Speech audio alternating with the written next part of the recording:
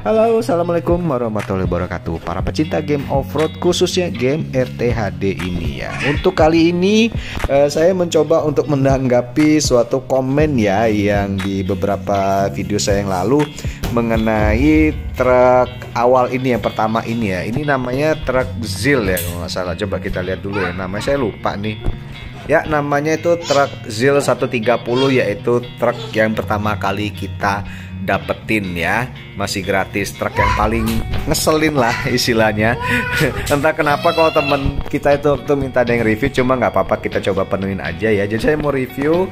Jadi dari sini ini saya udah improve ya. Saya udah improve semuanya full. Speednya full brake-nya juga full juga ya. Nah terus ini saya uh, mau ganti bannya ya. Berhubung ini VIP dan mobil ini sangat payah sekali jadi saya upgrade maksimal aja ya bannya pakai ban yang VIP terus ini catnya yang apa ya? Uh, eh warna biru lah warna biru ini aja. Terus untuk protectionnya saya coba boleh pakai yang ini ya. Oke. Okay. oh belum saya beli Oke, nah ini saya bingung ya mau ngetesnya di map apa karena truk ini kan sebenarnya lemah sekali ya gitu. Cuman uh, kita lihat aja, uh, kita cari map yang enak saya tes tes dulu ya. Saya udah lama sih nggak pakai truk ini soalnya. Oke dan seperti biasa kita akan tes di map Big Island ya dan satu catatan mobil ini tidak ada AWD jadi dia hanya bergerak roda belakang ya jadi uh, tidak bisa all well uh, apa ya idenya lupa saya. Pokoknya bannya nggak bisa bergerak semua lah gitu. Jadi ya gitulah nanti kalau tanjak-tanjakan agak kesulitan gitu ya Ya, tapi untuk sementara awal-awal ini masih aman lah lewat jalanan sesat ini. Dia masih gampang karena nggak bawa muatan ya. Jadi dikarenakan begitu lemahnya mobil ini saya memutuskan untuk pakai grab well dulu ya. Seenggaknya biar sedikit membantu. Dan gak usah pakai lama-lama kita langsung aja masuk tantangan kubangan kebo. Dan sudah pasti mobil ini tidak akan sanggup naik di kubangan kebo. Cuman satu hal yang terinspirasi saya pada saat mereview mobil ini adalah Saya menjadi tidak ingin mereview mobil ini tapi saya lebih uh, mencoba untuk testimoni sosial ya. Ketika saya pakai mobil ini akan seperti apa nasibnya? Dan tanpa disangka ya memang mobil ini mengguna mengundang simpatik banyak player-player lain gitu. Ya kenapa? Dibuktikan nih ketika saya nggak bisa nanjak ketika saya kesulitan itu selalu aja ada player yang nolong gitu. Nah ini salah satunya ini namanya player nih Lost Doll namanya ya. Jadi dia bener-bener nungguin saya bener-bener nolongin saya sampai bebas dari uh, lubang ini gitu. Dan sebenarnya cukup lama loh saya di sini gitu loh. Tapi sabar gitu ditungguin sama dia. Jadi ini juga suatu pembuktian ya bahwa uh, game RTHD ini game yang sangat friendly sekali gitu. Kenapa? Uh, hampir semua player-player game RTHD ini pasti suka menolong gitu. Apalagi melihat yang lemah melihat yang lagi kesusahan. Itu pasti tolong gitu ya. Nah terutama bisanya yang masih sama-sama level-level entry level entry level seperti inilah. Biasanya masih suka nolong gitu. Mereka merasakan oh sulitnya menjadi level pertama gitu kan dan saya pun juga sebenarnya walaupun sebenarnya udah level 32 gitu kalau ngelihat player masih level 1 gitu pakai truk yang masih awal-awal gini gitu terus uh, ada yang bilang ini bingung gimana caranya tira ini bingung gimana pakai winchnya. Kadang saya ingat waktu pertama kali main ini ya jadi waktu pertama kali saya main ini saya nggak ngerti apa-apa saya bingung mau jalan aja nggak tahu gimana caranya gitu sempet saya hampir uninstall lagi gitu karena aneh nih game apa sih? Nggak bisa jalan nggak bisa gerak. Terus ngapain aja sih? Disuruh ngapain sih? Apa disuruh balapan? Apa disuruh jalan gimana? Tapi kok nggak ada petunjuknya ini mau ngapain kan? Ini ke arah mana? Itu pertama kali saya main game bingungnya itu di situ. Jadi saya feedback dan balik lagi ke situ ya. Ngerasain susahnya jadi player awal-awal gitu Nah terus ini tadi udah selesai di kubangan kebo ya. Dan masih lanjut ditanyakan selanjutnya Teman kita Lost Doll ini, player ini Ini masih nungguin saya loh, masih setia loh. Masih setia mau gandeng saya nyampe ke atas gitu. Padahal truk dia tuh bukan termasuk truk yang powerful ya. Dan level dia juga masih level 17 itu sebenarnya masih awal-awal dia sendiri mungkin kesulitan untuk naik ke atas. Ini masih bisa uh, mau nolong saya gitu loh untuk naik ke atas juga gitu. Sebetulnya sih saya ngerasa nggak enak banget ya nyusahin teman kita yang satu ini Lost Doll ini gitu. Ditungguin gitu. Kadang saya itu sebenarnya pengen keluar aja gitu pengen restart aja gitu. Cuman dia masih nungguin kita gitu nungguin supaya uh, saya tuh ditolong sama dia gitu kan. Dia bener-bener pengen bantuin kita. Jadi saya di sini yang apa ya pengen keluar tadi dia merasa aduh dia orang udah nawarin ke kita kok kita malah keluar gitu. Jadi nanti dia kecewa gitu merasa nggak terapresiasi. Makanya di sini karena dia niat banget nolongin saya makanya ya udah saya terimalah bantuannya itu dengan senang hati. Saya manfaatkan dengan sepenuh hati supaya dia juga nggak kecewa ya gitu. Nah tadi teman kita yang lost doll tadi udah nolong sampai di apa tanjakan yang tadi itu aja ya. Karena uh, ya udahlah saya coba secara halus uh, ngasih tanda yaudah lanjut aja lah istilah gitu. Nggak apa-apa tinggalin aja saya di sini gitu. Nggak enak nyusahin juga. Karena kalau misalkan saya sampai finish minta tarikin sama dia truknya juga masih begitu entah yang ada dua-duanya nggak sampai-sampai gitu. Bisa-bisa setengah jam diri sendiri tuh nyampe atas ya. Nah ini saya terbalik lagi di sini dan saya ketemu player lain lagi nih di sini.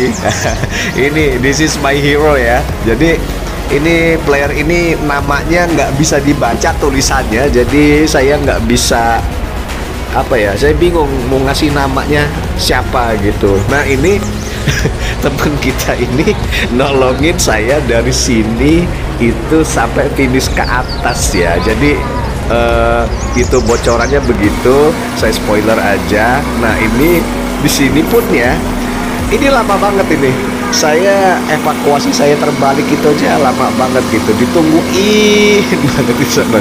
Bener-bener uh, sampai saya itu bisa bangun gitu pokoknya. Nih coba kita cepetin aja prosesnya ya.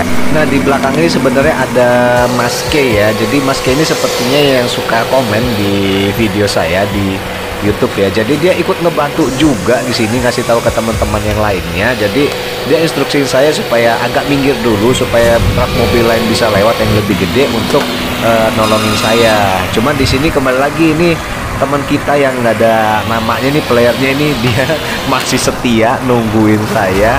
Dan akhirnya saya kembali ditolong lagi nih sama teman kita yang satu ini. Akhirnya digeret dah udah di sini.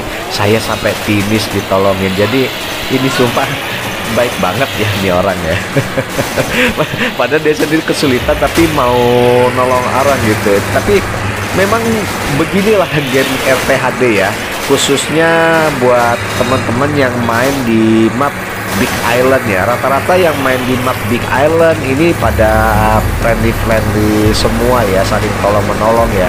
Kecuali di map Lost Town tuh. Kalau map Lost Town sih emang kebanyakan pada ngepush semua ya. Jadi bawahnya buru-buru. Jadi kalau ada yang keselip dikit gitu yang lagi nanjak terus ditabrak gitu kan yang dari atas turunan gitu kan suka tabrakan tuh kadang suka emosi memang yang lagi usaha nanjak nanjak susah-susahnya terus ditabrak gitu ya ya nggak bisa disalahin juga sih karena memang alurnya begitu ya dan memang ya tergantung pembawaan orangnya juga harusnya kan e, lebih hati-hati gitu ya supaya nggak nabrak yang lagi susah-susah nanjak Nah ini nyambung di video saya record di hari hari yang sebelumnya malah ya.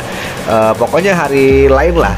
Ini saya ditolongin lagi ini nama playernya ini Izam gitu ya. Dia memang pakai truk yang gede levelnya udah tinggi dan dia mau nolong kita gitu. Jadi nggak cuma yang uh, levelnya kecil doang yang ngerasa kesusahan dan ingin saling menolong tapi di sini player yang level-level tinggi yang udah senior-senior juga masih suka nolongin juga player-player yang misalkan kayak saya yang kelihat lagi kesusahan ya. Jadi ini suatu pembuktian adalah uh, game RTHD ini khususnya di map ini kayak map lain kecuali Forest ya.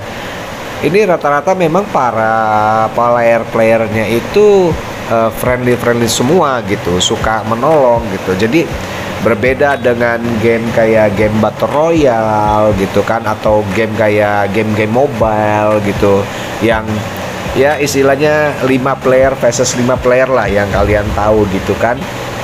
Itu rata-rata isinya ngatain orang lah yang itulah yang nggak bisa main lah yang inilah. Ya kalian tahu lah kata-kata toksik toksiknya seperti apa ya. Jadi kalau main game RT HD ini truk mania ini justru kalian malah uh, dapat temennya itu gampang gitu. Karena dikit-dikit nolongin dikit-dikit nolongin gitu. Terus ngobrol ngobrol gitu kan.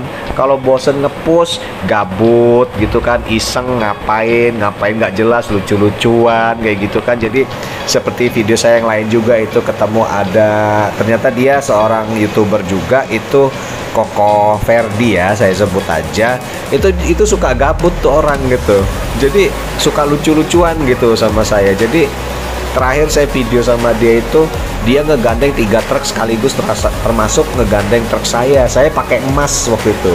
Si Koko Verde juga pakai emas juga gitu. Digandeng iseng-iseng kan nggak jelas gitu aja. Jadi isinya itu have fun semua lah game RTHD apalagi di map Big Island ini ya.